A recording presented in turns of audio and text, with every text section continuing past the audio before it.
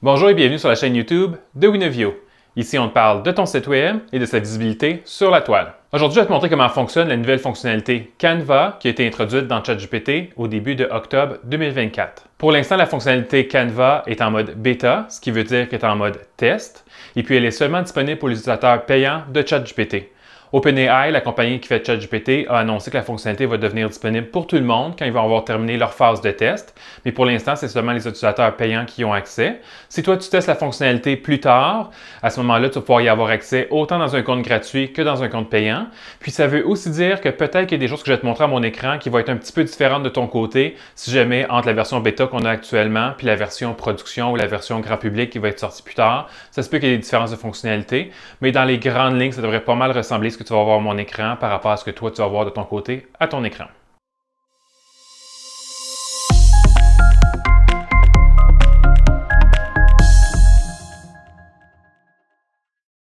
Pour t'expliquer dans les grandes lignes, c'est quoi Canva? C'est un outil qui se rajoute à la discussion que tu as normalement avec ChatGPT. C'est comme un écran qui est à part de la discussion normale de ChatGPT. Et puis c'est un, comme une section sur laquelle tu peux travailler sur des documents avec ChatGPT. Donc tu peux faire des choses, n'importe quoi qui est écrire un document, comme écrire un article de blog, préparer un rapport, faire une demande de subvention, euh, écrire un article pour un journal, écrire un livre. Donc tout ce que tu pourrais avoir besoin d'écrire comme document, tu peux utiliser cette fonctionnalité-là pour que ChatGPT t'assiste. Si tu as écouté ma vidéo que j'ai publiée au début de l'année sur comment écrire des articles de blog avec ChatGPT, tu sais que mon ancienne technique que j'utilisais, c'était de discuter avec ChatGPT, de pondre une première version de l'article, puis section par section, je lui demandais de retravailler les sections telles que je voulais qu'elles soient. Puis au fur et à mesure que j'avais des sections qui me plaisaient, je les emmenais dans Google Docs ou directement sur WordPress ou dans un fichier Microsoft Word. Puis après ça, j'avais un tout complet dans mon fichier en dehors de la plateforme ChatGPT. Maintenant, avec Canva, c'est plus du tout nécessaire de faire ça. Tout va se passer sur ChatGPT. Donc, tu vas faire un premier jet de l'article avec ChatGPT, puis tu peux directement sur ChatGPT lui sélectionner les bouts du texte que tu aimerais qu'il corrige. Il va le corriger en direct, directement dans l'écran de Canva sur la plateforme de ChatGPT. Fait que ça t'évite d'avoir à travailler avec ChatGPT dans le chat emmener ça dans un document Word, par exemple, le retravailler dans Word, puis après ça, emmener ça sur ton site web, sur Joomla, sur WordPress, sur Shopify. Tu peux tout simplement court-circuiter ces étapes-là, puis aller directement de ChatGPT vers ton site web, si on parle d'un article de blog. C'est d'ailleurs ce que je vais te montrer aujourd'hui, je vais te montrer comment tu peux faire la rédaction d'articles de blog avec la fonctionnalité Canva, étant donné que c'est ça que moi je connais le mieux dans le cadre de mon travail. Mais comme je te dis, tu peux te servir de la fonctionnalité Canva pour tout type de documents pour lesquels tu auras besoin d'écrire. Soit l'écrire de zéro avec ChatGPT, soit tu as fait un brouillon, tu le mets dans Canva, puis tu demandes à ChatGPT de t'aider pour arriver à la version finale. Donc, c'est ce qu'on va faire aujourd'hui. On va passer à mon écran ici, puis je vais te montrer comment faire tout ça. La première étape, c'est de te connecter à ton compte ChatGPT et puis de passer au modèle 4O avec Canva. Pour changer le modèle avec lequel tu travailles ou la version de ChatGPT avec laquelle tu travailles, tu viens dans le menu en haut à gauche ici. Tu peux le faire au début de la discussion, mais tu peux aussi le faire en cours de discussion. Le seul hic, des fois, c'est quand tu le fais en cours de discussion, des fois, le modèle vers lequel tu passes, il part une partie de la discussion que tu as eue avant avec la version précédente. Moi, personnellement, j'aime pas ça passer d'une version à l'autre. Pas quand j'ai une, conversation dans le long terme avec ChatGPT puis je veux qu'il se souvienne depuis le début de la discussion. Mais quand tu le fais depuis le départ, puis tu maintiens la même version, je trouve qu'il y a moins de bugs. Donc, petite parenthèse, c'est mon observation personnelle. J'ai pas lu de documentation par rapport à ça, mais c'est mon observation personnelle en utilisant la plateforme. Donc, tu viens ici, tu choisis la version 4O avec Canva. Puis à ce moment-là, tu vas avoir accès à la fonctionnalité Canva. Pour la simulation d'aujourd'hui, comme je te dis, je vais faire comme si je voulais écrire un article de blog, dans ce cas-ci, pour un client. J'ai préparé des requêtes d'avance, donc je vais copier-coller ma, requête et puis je vais te la lire. Je vais t'expliquer pourquoi je lui dis ce que je lui dis en même temps. Fait que si tu es moins familier avec ChatGPT, ben, tu un petit tutoriel sur comment faire tes requêtes dans ChatGPT. Donc, je vais lui dire, je suis responsable des communications pour une clinique de chiropratique. J'aimerais que tu m'aides à écrire. J'aimerais que tu m'aides à écrire des articles de blog. Les articles doivent être optimisés pour le SEO et avoir une longueur entre 1200 et 1600 mots. Pour chaque article, je vais fournir le mot-clé principal à utiliser pour le SEO et parfois, je vais aussi fournir des mots-clés secondaires. Les articles doivent être écrits en français du Canada avec un niveau de langage accessible pour un large public. Peux-tu me confirmer que tu as compris mes attentes? Donc, la base avec ChatGPT, puis toutes les IA comme ça avec lesquelles tu as une conversation de type chat, c'est que ta requête, elle soit claire, elle soit concise, elle soit complète. Puis la recette de base pour ça, c'est de dire à ChatGPT qui que es, qu'est-ce que tu fais, qu'est-ce que tu veux qu'il fasse pour toi, puis comment tu veux qu'il fasse? Donc, en lui disant, je suis responsable des communications, je lui dis qui que je suis, qu'est-ce que je fais. Après ça, j'ai dit, j'aimerais que tu m'aides écrire des articles de blog. Je lui dis qu'est-ce que j'aimerais qu'il fasse, mais c'est vraiment dans le vague. Puis là, après ça, je lui précise comment je veux qu'il le fasse. Je veux que tu le fasses en écrivant des articles qui sont optimisés SEO, qui ont entre 1200 et 1600 mots. Puis pour chaque article, je veux que tu fournisses telle information. Je veux que ce soit écrit en français du Canada aussi. Puis aussi, euh, je lui demande, peux-tu confirmer que tu as compris ce que je te demande? Tu n'as pas toujours besoin de le faire dans les nouvelles versions de ChatGPT. Dans les anciennes versions de ChatGPT, comme le 3.5 puis la première version 4, euh, des fois, il allait juste embarquer dans le travail, puis il n'avait peut-être pas nécessairement bien compris ce que tu lui as demandé. Fait que c'est une bonne idée de lui demander de valider. Dans les nouvelles versions de ChatGPT, il valide de lui-même, mais ici, il veut qu'on démarre la conversation, puis je vais être vraiment sûr qu'il comprenne c'est quoi que je demande de lui. Je lui demande de résumer. Fait que là, il me dit oui, bien sûr, je veux que tu tu veux que j'écrive des articles de blog optimisés SEO, voici les détails, ce que tu me mets pour la longueur de l'article, en français du Canada, avec un langage accessible. Fait qu'il me résume ce que je lui ai demandé, il a bien compris, on peut continuer. Donc, je vais lui dire, peux-tu aller visiter le site web de mon client pour t'informer? Je vais mettre ici, je vais te laisser te répondre pendant que je lis. Donc, peux-tu aller visiter le site de mon client pour t'informer sur son offre de service, sa clientèle cible et le ton des textes de son site pour ensuite me résumer la chose? Puis, je lui mets l'adresse du site web. Je ne sais pas si tu le savais, mais en octobre, euh, c'est octobre, octobre, en l'automne 2023, quand la version 4 Turbo de ChatGPT est sortie, ils ont introduit la fonctionnalité que ChatGPT avait accès à l'Internet. Puis, c'était le super le fun de cette période-là jusqu'au mois de décembre. Puis depuis janvier 2024, ChatGPT avait comme arrêté ou semi-arrêté d'avoir accès à l'Internet. Majoritairement, quand on lui demandait de visiter un site, il disait qu'il n'avait pas accès à l'Internet. Ou on lui demandait de faire de la recherche, puis il disait qu'il n'avait pas accès à l'Internet. Puis de temps en temps, il accédait à l'Internet sans qu'on lui demande. Euh, je pense qu'il y a eu de l'abus de ce système-là, puis ils l'ont comme semi-désactivé pendant un certain temps. Puis depuis septembre cette année, depuis septembre 2024, la fonctionnalité est revenue, puis elle fonctionne mieux que jamais. Moindrement que tu demandes à ChatGPT, va voir tel site web, ou tu lui demandes, peux-tu faire de la recherche à propos de sujet X? Il va se connecter à Internet, il va faire une recherche web, comme toi tu ferais en allant sur Google en réalité, sauf que lui c'est une machine, fait qu'il consulte un paquet de sites web d'un coup sec vraiment très rapidement dans le temps où tu aurais à peine eu le temps d'en cliquer un pour aller voir le contenu. Et puis après ça, il te résume la chose. Fait que là, il est allé visiter sur un site là, parce que là, j'ai spécifié le site à visiter. Puis tu peux voir ici quand il fait une recherche web, ça va te dire qu'il a fait une recherche, puis tu peux l'ouvrir pour voir c'est quoi les sites de référence qu'il a utilisés. Fait que si j'aurais posé une question plus large, j'aurais dit, peux-tu faire la recherche sur tel sujet? Il m'aurait affiché tous les différents site web qu'il a consulté pour trouver l'information, pour me, donner le résumé qui m'a répondu finalement. Fait que il me dit Oui, c'est beau, je suis allé voir le site web. C'est une clinique de chiropratique, ils font de la masso, de l'analyse fonctionnelle, etc. Fait que me dit ce qu'ils font, Graston Technique, ouais, pas le fun du Graston Technique. ça fait très mal. C'est là que je me fais traiter. Puis la, running gag avec ma chiro, c'est que c'est ma séance de torture quand elle me fait du Graston. C'est vraiment pas le fun. C'est efficace, mais c'est vraiment pas le fun. Donc, euh, il me résume la chose, c'est bon. Fait qu'on peut aller à la prochaine étape. Euh, donc, la prochaine étape, c'est euh, d'écrire l'article de blog comme tel. Fait que je te lire la requête avant de la soumettre parce que je veux te décrire ce qui risque d'arriver puis ce qui pourrait ne pas arriver parce que c'est pas encore tout à fait au point le, mode Canva. Donc là, ici, je lui dis, peux-tu me proposer une structure euh, d'article au sujet des entorses lombaires, les causes, les traitements ainsi que des astuces de prévention? Si tu as des idées pour du contenu additionnel, je suis ouvert aux suggestions. Donc, je suis un peu directif ici en disant, je veux un article qui va avoir tel genre de contenu dedans, mais en même temps, je lui dis, je suis ouvert aux suggestions tout d'un coup que lui ait des idées additionnelles de type de contenu à prévoir dedans. Puis là, la raison pour laquelle je ne lui soumets pas tout de suite, c'est pour dire ce qui risque d'arriver. Donc, aussitôt qu'on va lui parler d'avoir de, l'aide pour rédiger un document, pour corriger un document, etc., normalement, il va avoir un déclencheur qui va faire comme OK, on s'en va en mode Canva, puis de lui-même, il va ouvrir le mode Canva. S'il le fait, tant mieux. Si jamais de ton côté, tu travailles avec ChatGPT puis il ouvre pas le mode Canva tout seul, tu peux juste lui dire, il va probablement juste te répondre dans le chat comme qu'il fait normalement. Puis tu peux juste lui dire, j'aimerais qu'on travaille sur ce document-là dans Canva, puis là, il va ouvrir Canva pour toi. Donc, des fois, il va le faire tout seul, des fois, tu dois lui dire. Fait que là, on va soumettre ça, on va voir s'il va le faire tout seul. OK, fait que là, c'est un de ces exemples-là où est-ce qu'il ne fait pas de lui-même. Fait que là, je vais juste le laisser me répondre ce qu'il me répond là. Je lui dis que j'aimerais que l'on travaille dans Canva.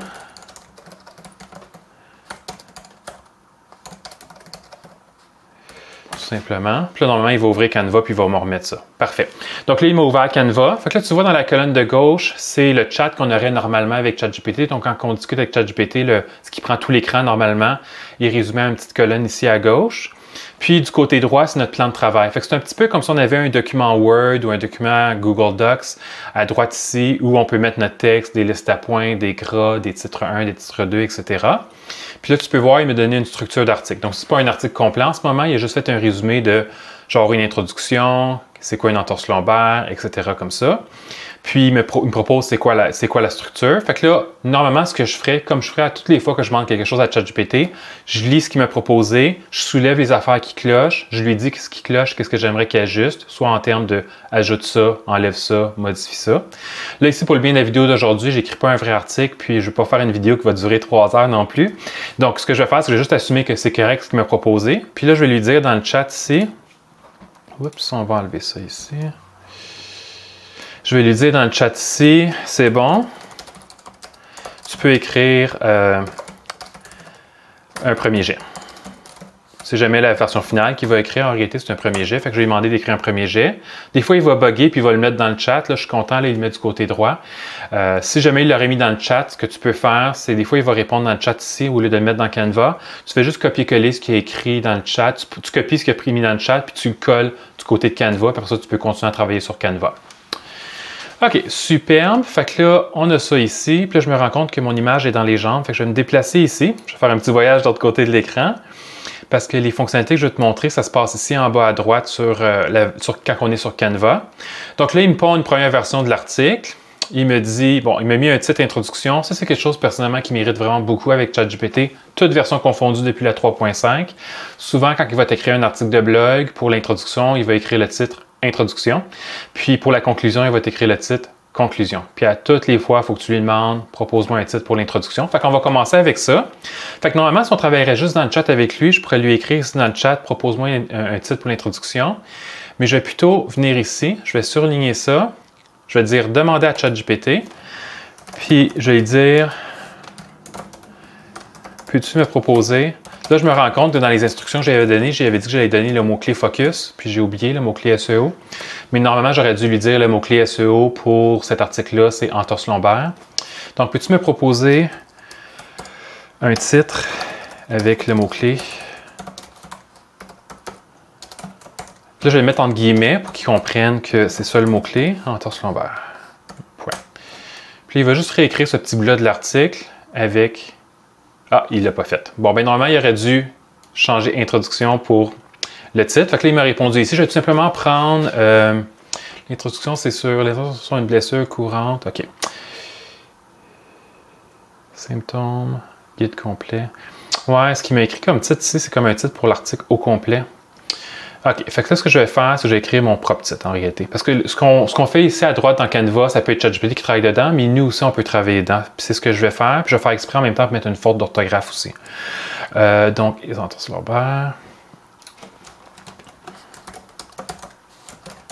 là, je vais écrire entorse lombaire. Je ne sais pas si tu le sais, mais au niveau du SEO, tu veux, mettre le plus possible ton mot-clé focus de l'article au début de tes titres et de tes sous-titres dans l'article. Parce que plus les mots sont au début des titres, plus ils ont de poids d'un point de vue SEO pour le positionnement Google de la page. Donc, en mettant un titre comme entorse lombaire, deux points, c'est quoi, c'est plus payant. Euh, mais c'est un peu moins beau flow pour le titre d'introduction. Fait que je vais juste mettre c'est quoi les entorses lombaires, tout simplement. Après ça, ce que je pourrais vouloir dire ici, c'est cette, cette introduction-là, elle me plaît, mais j'aimerais qu'elle soit peut-être plus longue. Fait que je vais lui dire... Oups. Je vais lui dire, peux-tu allonger de, on va dire 30 fait qu'il va m'écrire, oups, oups, je pense que j'ai fait Enter par accident. Bon, ça a fonctionné. Tant mieux. Petite erreur, mais ça a fonctionné. Fait que là, il m'a légèrement allongé le texte. Il le fait directement ici dans Canva, comme qu'il aurait dû faire avec le titre en réalité. Puis il me répond ici, j'ai allongé la section sur les entorses lombaires pour inclure des détails supplémentaires sur l'impact sur la vie quotidienne, la manière dont ils peuvent effectuer différentes activités, ainsi que l'importance de la prévention. Dis-moi si ça convient. C'est bon, on va continuer avec ça. Donc là, j'ai fait juste ce paragraphe-là. Juste ce paragraphe-là, j'ai dit j'aimerais que tu me l'allonges. Mais disons que c'est globalement tout l'article au complet que j'aimerais qu'il m'allonge. Je pourrais sélectionner l'article au complet puis lui demander allonge l'article de 30% ou je pourrais venir dans les nouvelles fonctionnalités de Canva ici, où est-ce qu'il y a le petit crayon. Donc je viens avec ma souris sur le petit crayon, puis la première icône ici, ajouter la longueur, je clique dessus. Puis là, tu peux voir ici, je au milieu, conserver la longueur actuelle. Puis là, je peux déplacer ça vers le haut pour plus long, le plus long, ou plus court, puis le plus court. Fait que je le déplace où je veux. Fait que là, disons, je partais de longueur actuelle, je pourrais dire plus long. Il me met la petite flèche, je dois recliquer de nouveau sur la petite flèche. Puis il va repasser tout l'article au complet, puis il va me l'allonger sensiblement, juste un tout petit peu plus long que ce qui est déjà là en réalité. Puis on peut le voir vraiment le faire en direct. C'est une machine, c'est littéralement une machine ChatGPT, mais tu travailles, toi, tu ferais ce travail-là, ça te prendrait beaucoup plus de temps à passer à travers ton article pour l'allonger. Fait que c'est vraiment très pratique d'utiliser cet outil-là pour allonger ton texte. Donc, ici, on a allongé le texte. Fait que là, disons, euh, on peut voir ici, qu'est-ce qu'une entorse lombaire? Je trouve que c'est un peu redondant, les deux, les titres ici, les chiffres. Fait que je vais enlever les titres. Je pense que les, chiffres dans le titre, il a mis ça parce que j'avais proposé, me demandé une structure tantôt. Mais là, dans l'article final, ça n'a plus rapport. Fait que je vais l'effacer. Ça fait de me réaliser que je t'avais dit que j'allais faire une faute d'orthographe dans le titre que j'ai mis en haut. Fait que je vais retourner en haut pour faire une faute d'orthographe. Parce que tantôt, je vais te montrer comment... Ah, une conclusion.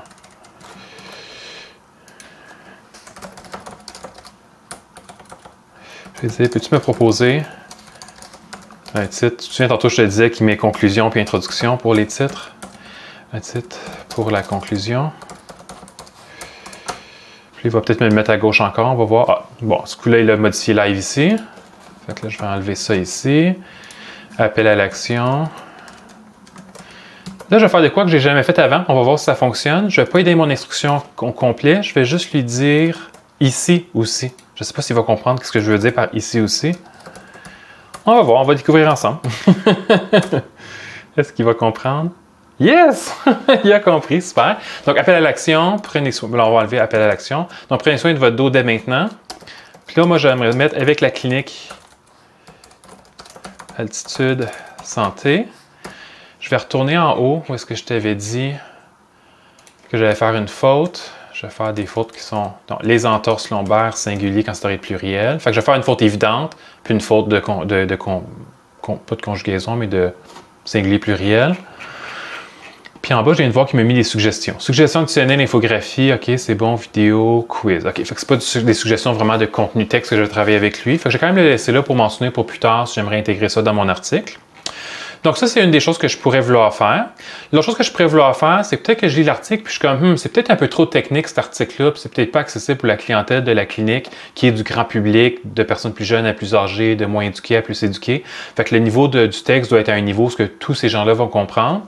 Donc ce que je vais vouloir faire ici, c'est que je pourrais encore une fois sélectionner l'article au complet, puis lui dire, peux-tu ajouter le ton vers telle direction, vers le haut, vers le bas, ou je pourrais l'utiliser dans le chat ici aussi, là, euh, d'ajuster, euh, d'ajuster le ton. Mais ce que je vais faire à la place, qui est beaucoup plus facile, c'est que je vais venir dans le petit outil de Canva ici, le crayon.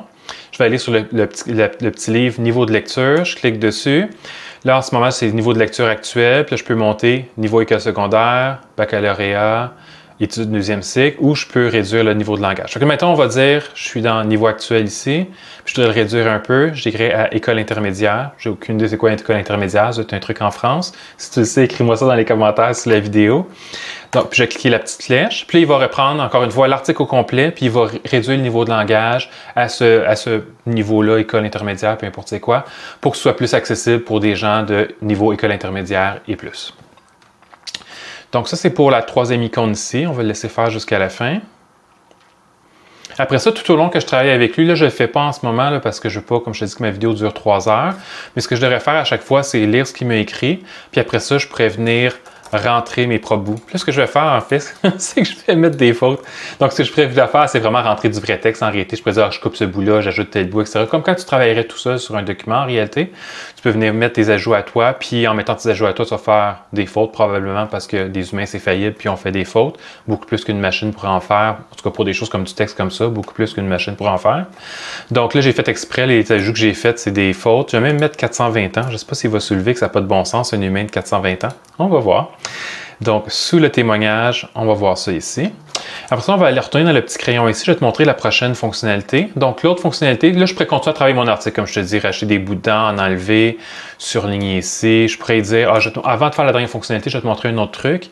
Disons ici, quand consulter un professionnel, il est important de consulter un professionnel quand, puis là, j'ai mis trois raisons. Il a mis trois raisons, pardon. Je peux souligner ça, puis lui dire, oups, je peux surligner ça, puis lui dire, peux-tu je veux vraiment convaincre le lecteur. Je lui disais, peux-tu ajouter deux raisons additionnelles? Fait que là, normalement, il devrait comprendre que je veux laisser ces trois-là puis en rajouter deux de plus. Je vais lui envoyer ça.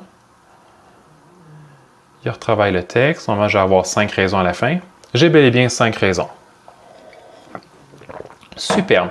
Donc là, une fois que j'ai fini de travailler l'article, lui a écrit ses bouts, je lui ai demandé de faire des révisions, j'ai fait mes modifications en moi, puis tout ça. L'article que j'ai là, il est quasi final, mais il y a probablement des petites coquilles ici et là parce que je me suis trompé ou parce que j'ai fait corriger juste un petit bout de l'article. Ce petit bout de l'article-là, il est plus cohérent avec un autre bout de l'article plus loin mais il n'a pas fait la correction plus loin parce que j'ai surligné le bout parce que je veux qu'il fasse une correction. Puis quand on surligne pour faire une correction ou un ajustement quelque part, il ne touche pas au reste de l'article. De la même manière que moi, comme humain, si je change une partie de l'article, je pense peut-être pas changer un bout de l'article plus loin qui serait en lien avec ça. Fait là, ce que je vais vouloir faire, c'est le même travail que si, par exemple, tu ferais l'article toi-même. Quand tu as fini, tu relis tout puis tu corriges. Ou quand tu travailles avec une rédactrice puis vous êtes rendu à la version qui est quasi finale, la rédactrice va repasser à travers l'article pour tout corriger, ajuster le ton, faire sûr que c'est un tout cohérent, faire sûr que les différentes parties de l'article font du sens ensemble si ont été travaillés en plusieurs bouts comme qu'on fait actuellement. Puis là, tu as une petite fonctionnalité dans Canva pour ça. Tu reviens dans le crayon, puis c'est le, petit pinceau ici, touche finale. Tu cliques dessus, tu cliques encore. Puis là, il va, il va faire la relecture, il va faire la job d'une rédactrice qui relit l'article, puis qui ajuste le tout pour que ce soit cohérent, qu'il y ait le bon ton, etc., etc. Puis là, normalement, après ça, tout ce que tu as à faire, toi, c'est de relire, t'assurer que tout est correct. S'il y a encore des ajustements à faire, lui dire qu'il y a des ajustements. Puis, dans le cas d'un article de blog que tu veux publier sur ton site web, l'article sera optimisé SEO pour un positionnement Google, tu vas aussi vouloir aller dans le chat ici puis lui dire OK, c'est bon, l'article est complété.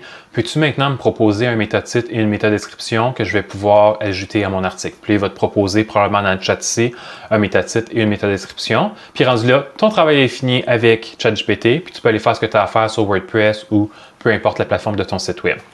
Pour fermer Canva, tu viens sur la petite flèche ici, ça te ramène dans le chat normal. Je vais remettre les, choses aux bonnes ici. Je vais retourner faire un voyage dans le bord de l'écran. Donc, ça te ramène dans le chat normal. Je pourrais continuer à avoir une discussion avec lui par rapport à ça ou par rapport à d'autres sujets. si jamais je veux revenir travailler sur l'article, mais cet encadré-là de Canva va rester là. Même si je commence à parler avec lui de autre chose, puis que j'embarque dans un autre Canva pour un autre article de blog, je peux toujours revenir dans ce Canva-là avec les petites flèches, puis continuer à travailler avec mon article avec lui. Fait une des choses que tu pourrais vouloir faire, tout dépendant comment ton processus créatif fonctionne, c'est que tu voudrais peut-être partir, tu voudrais peut-être partir un, deux, trois articles en quasi final, les mettre de côté, les laisser dans Canva, en faire un deuxième, un troisième, etc. Puis après ça, une autre journée, repasser sur ces trois articles-là, puis les peaufiner pour en faire une version finale. Il y a des fois, il y a des gens dans leur processus créatif qui préfèrent faire une, bonne partie du travail d'un coup, puis revenir plus tard euh, à tête reposée, puis après avoir fait autre chose pour se relire puis voir si tout est correct. Euh, moi, je le fais quand je fais de la création visuelle, c'est quelque chose que j'ai besoin de faire. En création écrite, j'ai pas besoin de faire ça, mais en création visuelle, je sens que je fais tout le travail que je peux faire, je mets ça de côté, puis je reviens quelques jours, quelques semaines plus tard pour voir si mon travail est correct, puis le réviser avec des, un nouveau regard sur la chose. Tu pourrais vouloir faire ça, puis c'est super facile avec Canva. Ta discussion Canva va juste rester là. Tu défiles vers le haut, tu trouves ta discussion Canva, tu cliques tes petites flèches, puis tu continues le travail que tu as à faire avec ChatGPT, puis il ne sera pas perdu parce que tu as parlé d'autres affaires plus loin, parce qu'il sait qu'on est en Canva pour cet article-là. Donc, euh, ben, ça fait le tour de ce que je voulais te montrer par rapport à la nouvelle fonctionnalité Canva. Si jamais tu as des questions par rapport au fonctionnement, ou si jamais il y a des choses que je te montre à mon écran qui, par le temps que tu regardes ma vidéo, ont changé, puis tu penses ça pourrait causer de la confusion chez les autres personnes qui vont écouter la vidéo après toi, mets-moi ça dans les commentaires sur la vidéo, à moi, puis pour tout le monde en réalité, pour nous laisser savoir telle chose est différente, telle chose a été ajoutée, telle chose n'existe plus maintenant. Ça va peut-être éviter qu'il y ait des gens qui écrivent un paquet de commentaires comme de quoi ça fonctionne pas entre ce que j'ai montré à l'écran puis ce qu'il y a dans le futur quand toi tu vas écouter la vidéo. Donc, euh, ça fait le tour pour la vidéo d'aujourd'hui. Ça me fait plaisir euh, que tu aies resté jusqu'ici. Et puis, on se voit dans une prochaine vidéo. À la prochaine!